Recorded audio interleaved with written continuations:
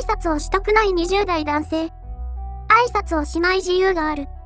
次の世代作っていくのは若い人たちなんで、に疑問の声。内容はこちら。20代男性の挨拶をめぐる主張に疑問の声が上がっているようです。では、内容を見てみましょう。金沢よ。挨拶しない自由はあるよ。したくなかったらしなければいい。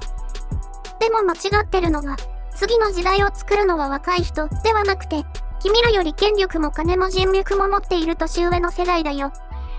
サバンナでも社会も一緒。強い奴が正しい。お前らは生まれたての装飾獣。挨拶絶対主義に疑問。20代男性。否定派、当事者に聞く。挨拶の嫌なところは、挨拶するかしないかの基準も人によってばらついてると思っていて、挨拶しない自由があるのではないかと思っています。挨拶しなくてよくないって思ったら、次の世代作っていくのが若い人たちなんで、そっちが正しい原因じゃないかなと思いますね。末端、テレビや、ぶっちゃけ仕事ができない人ほどこういうの熱弁しがち。この若者の主張に対しては、次のような疑問の声が上がる。月のうさぎ。挨拶しない自由を認めろみたいな20代男性の発言が動画で出回っている。もちろん自由。ただ、自由には責任が伴う。社会もあなたを排除する自由がある。非常識な人間として相手にされなくても文句言わないなら勝手にしなさい。プロおごられや。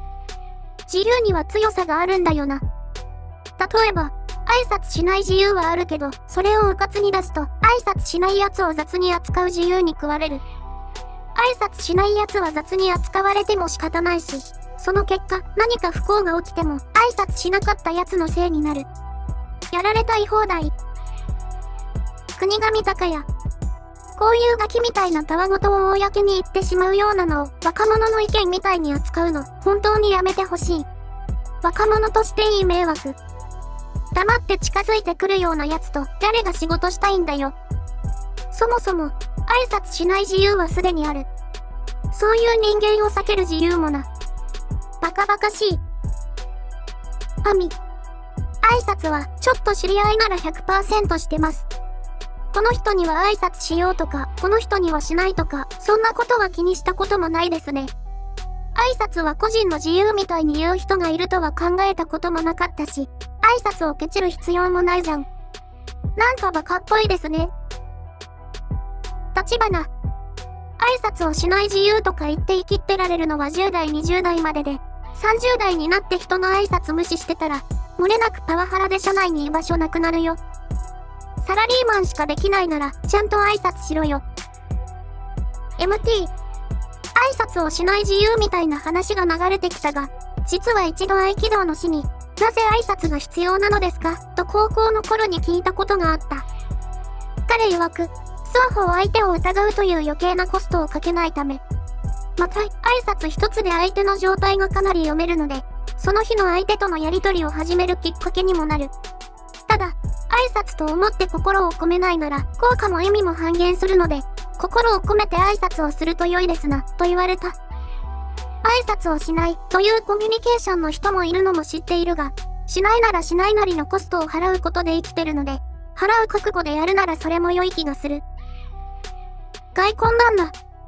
この動画で、自分中心な考え、協調性のなさ、他人の意見をシャットアウトするスタンス。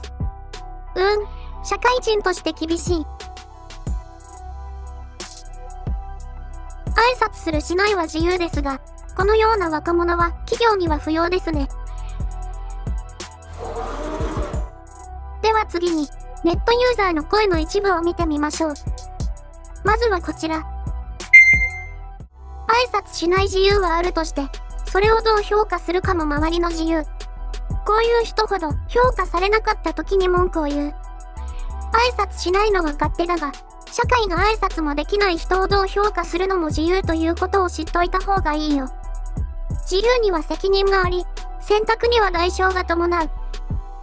挨拶できるできないは仕事に直結しないが、挨拶すらできてない奴は、大体仕事もできてない。挨拶しない自由とかそういう人入ってきたら、多分だけど、チームワークの必要な仕事はさせられんよな。挨拶ができないような人は仕事もできない。それが世間一般の感覚です。次はこちら。挨拶しない自由を行使するのは全然いいけど、結果として上司や同僚からも、仕事を任せない権利、仲良くしない権利を行使されて終わる。挨拶は人間の社会活動の中で一番大事なものだからね。じゃあどうやってコミュニケーション取るの？一番ハードル低い挨拶もしない人と何話せばいいの？コミュニケーションの放棄だからな。他者との関係を拒絶して生きていけるわけがない。仕事って人同士のつながりなんですけどね。この人、うまくいく未来が想像できないです。とりあえずこんな奴と仕事したくないです。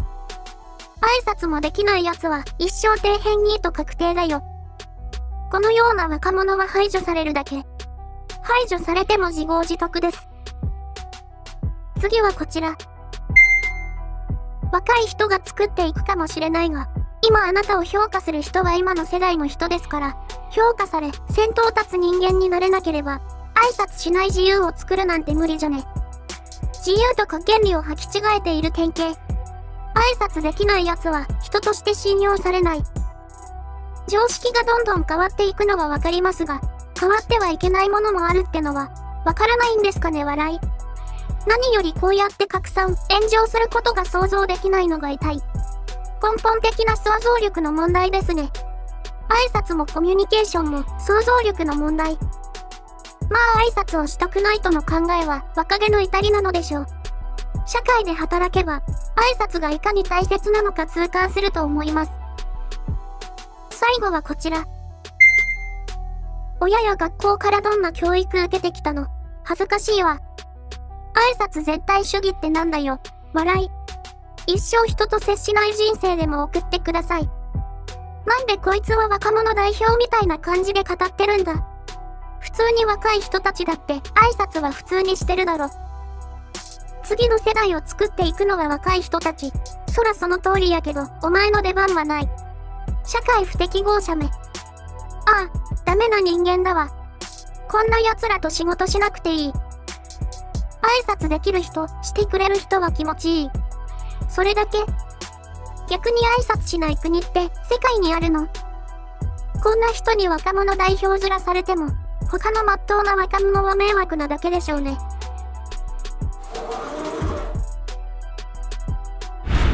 結論。今回の挨拶をしたくない20代男性は若者代表面で挨拶しない自由がある。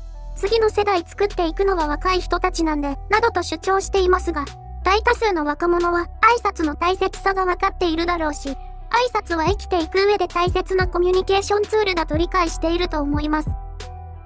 そもそも挨拶さえもできない社員をどこの企業が重宝するでしょうかこんな挨拶さえできない社員は他の社員から毛嫌いされ会社からも煙たがられ最終的には排除されるだけだと思います。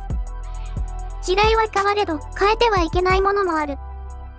この挨拶をしたくない若者にはそのことに早く気がついてほしいものです。